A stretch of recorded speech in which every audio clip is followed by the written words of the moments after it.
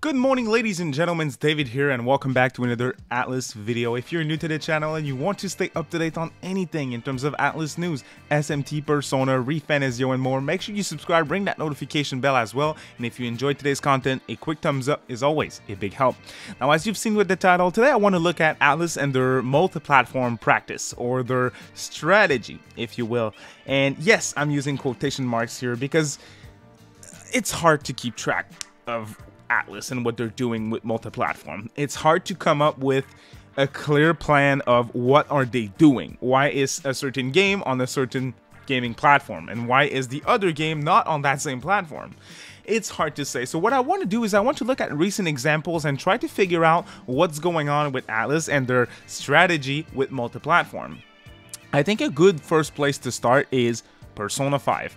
Persona 5 dropped on PlayStation 3 and PlayStation 4 and that game, it was a very good game, right? It was critically acclaimed, massive success for Atlus, and it was stuck on PlayStation for years. It's only last year in 2022, six years after P5 first launch, that the game finally released on other platforms. And by that, I'm saying Switch, Xbox, and PC.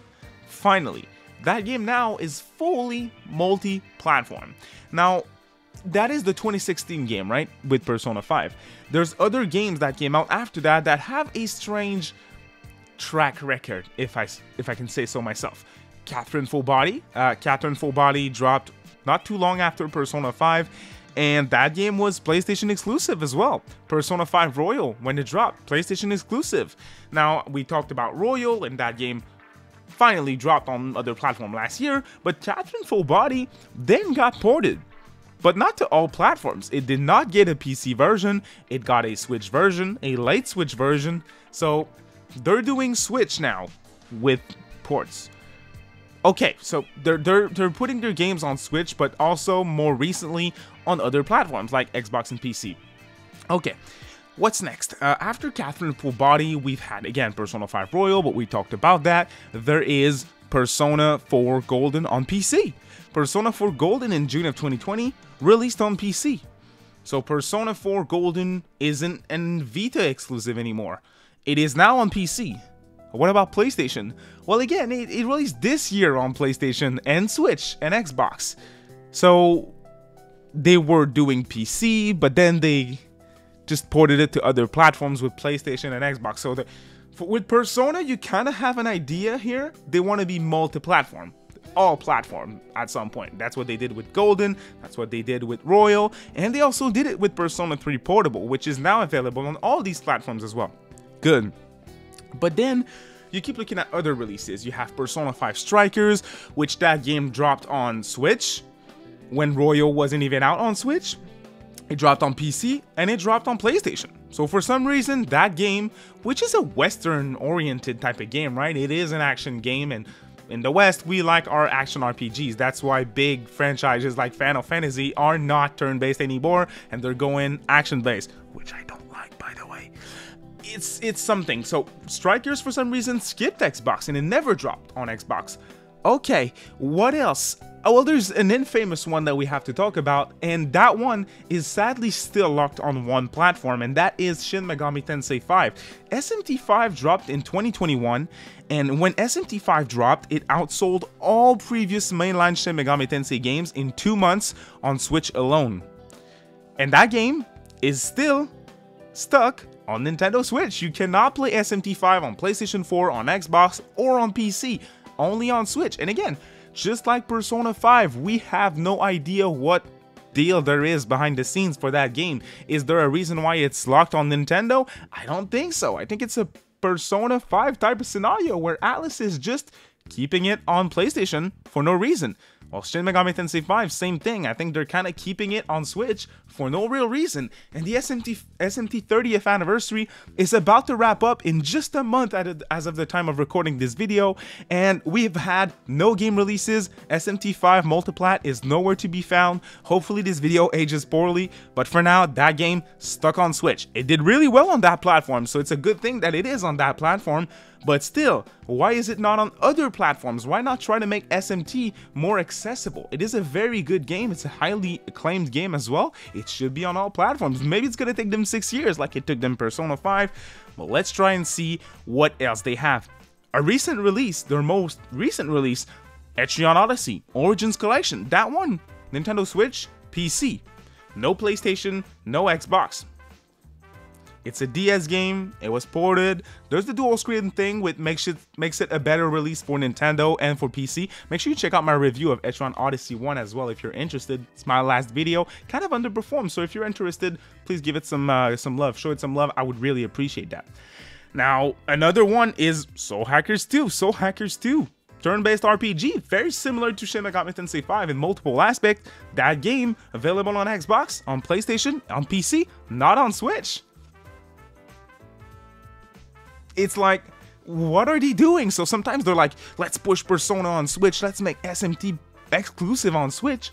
But Soul Hackers 2, which is basically a new IP at this point, right? It's the sequel to a 25 year old Sega Saturn Japanese exclusive game. I mean, it was not on Nintendo. Kind of underperformed, but at least it was on multiple platforms, unlike SMT5. But this game is the game that needed the Switch's platform the most, and it skipped it. Now, there's other examples that we can talk about. Most recently, uh, we've got the release, the reveal, sorry, of three new Atlus projects that are not out yet. And those three projects are the reason why I'm making this video because you have Persona 5 Tactica, which good job Atlus, it's been a while. It is a full on multi-platform game. You can play Persona 5 Tactica on Nintendo, on PlayStation, on Xbox, and on PC. Good job. So they're finally all in with multiplat, right? Not so much. You have Persona 3 Reload, which is coming out on all these platforms but Switch. So it turns out they are not all in with multi-platform when it comes to Persona, or at least they're they're all in with other platforms but not Switch. It's kind of like a Soul Hackers 2 scenario, right? You look at that game and you're like, I don't see why they're not putting money into it. It would have done very well on that platform. I think SMT5 is a good example of how strongly games can, good games can push on Switch. Hey, it is what it is. And then you have Metaphor ReFantazio, which is coming out on Xbox Series X and S, Windows PC, PlayStation 4, PlayStation 5, and no Switch. So for some reason, it's releasing on last-gen hardware like the PlayStation 4, not on Xbox One though, just Xbox Series and not Switch. And that game's been in development for a decade at this point, or at least close to a decade. It's been in development since 2015, so we're eight years in. Uh, very, very, very interesting. So, I mean, it's hard to say, right? With this recent release in 2023, I don't think Atlus knows what's up. I think you can make out some reasons as to why certain games are on certain platforms and others aren't. Uh, ReFantazio, for example, is one that I am not able to pronounce myself. I'm very confused as to why this game is releasing on these platforms specifically and not other platforms. Very weird, especially since it started development a long time ago. Reload is one that I think I can justify and before the reveal of Persona 3 Reload and on which platform it's coming out, I was thinking the game's gonna release probably everywhere but Switch because it's an Unreal Engine game and Unreal Engine game from my understanding, I know Unreal Engine 4 is available on Switch, you can develop games on UE4 on Switch, but most of the games that are Unreal Engine games on Switch. They're like they were fully built from the ground up for the Nintendo Switch, like an Octopath Traveler, like Shin Megami Tensei 5. So I'm sure Reload could run on Switch.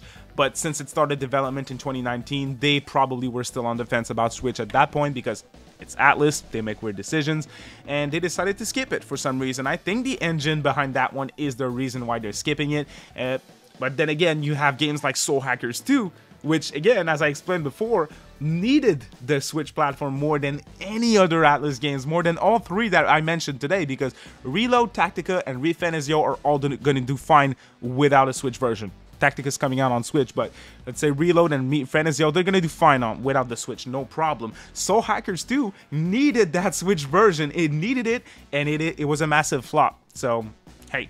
Uh, but that one is a Unity game. So, Unity, I, I don't I don't think the, the engine is the reason why it's not on Switch. Maybe the development time, although I don't think it's a game that was in development for that long, right? There, there's a lot of reuse assets, a lot of environments look kind of same-ish or so. Um, hey, it's it's a thing. It's a thing. So this is what I wanted to look at today. I think in 2023, it's a fair conclusion to say that Atlus is confused. They don't really know. I was about to say they don't really know what they're doing Kinda, let me just say it. Yeah, they don't really know what the fuck they're doing, right? They're putting certain games on some platforms, other not.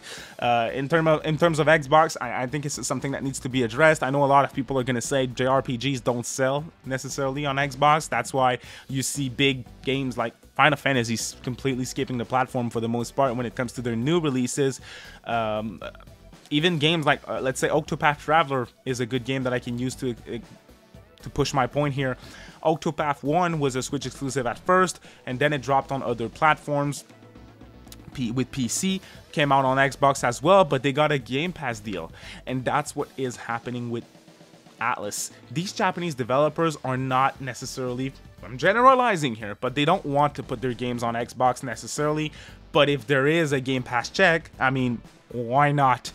I think that is why you get games like Metaphor ReFantazio. I honestly think, and I would put money on this, if it weren't for Game Pass, this game would not be on Xbox. So you have the games that are releasing on Xbox because there's a Game Pass check. You have the games that release on Switch because they're easy to port, and everything else is going to PlayStation. So I think Atlus is just the company that is like, hey, we don't necessarily want to like put too much effort into specific versions of games. Maybe they don't have a, a specific team at Atlus inside the company that is just a port studio. Maybe they would need a port a team in charge of porting in charge of porting their games because to my to me and to my understanding of, of Atlus being a longtime fan I think what they're doing is they're focusing on PlayStation and then they see if it's possible to make it available on other platforms. It's just strange because they make strange decisions all the time, right? They really do like porting Persona 5 uh, Royal six years after it dropped, even though it's their most successful games it's completely ridiculous. It makes no sense. Porting Persona 4 Arena before Persona 4 Golden to modern platforms makes zero sense.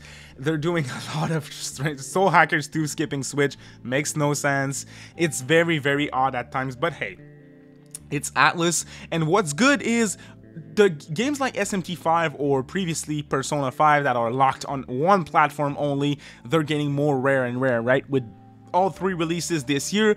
I'm just happy that at least they're coming to multiple platforms. There is no exclusive, except if there's really a reason for it, right? Like Etrian Odyssey Origins Collection, which is so much better portably with a touchscreen or with uh, mouse and keyboard support it makes really no sense to put it on lock it to one screen with Xbox and PlayStation so they kind of skipped it for that reason plus not much potential I'm trying I feel like I'm trying to justify their decisions. It's hard, it really is. And I'm very curious to hear what you guys think about this whole situation. What's up with their strategy and multi-platform games?